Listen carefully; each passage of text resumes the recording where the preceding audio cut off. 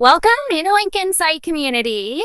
I'm Vicky, your dedicated anchor, and today we've got a bombshell story that's lighting up the news circuit. Buckle up because we're diving into a controversy that's got the sports world buzzing.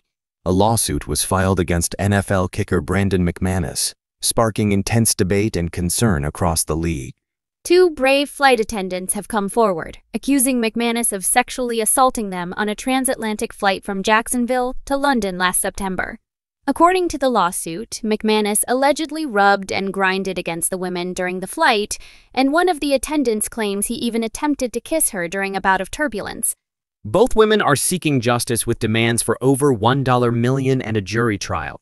McManus, who was playing for the Jacksonville Jaguars at the time, has strongly denied these allegations. His attorney, Brett Galloway, labeled the accusations as absolutely fictitious and demonstrably false, calling the lawsuit an extortion attempt. The Jaguars have acknowledged the severity of the claims and stated their commitment to maintaining a team of high character.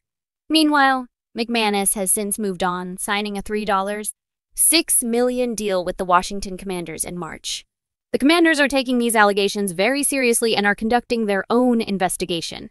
The lawsuit not only targets McManus, but also accuses the Jaguars of gross negligence for failing to supervise him and ensure a safe environment.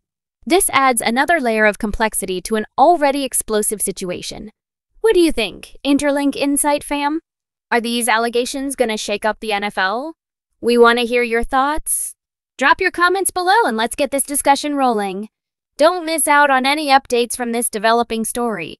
Like, comment and subscribe to Interlink Insight for all the latest news that keeps you informed and engaged. Hit that notification bell so you never miss a beat. This is Vicky, signing off for now. But stay tuned because this story is far from over. Remember your Interlink Insight? We're not just reporting the news, we're making you a part of it. See you next time.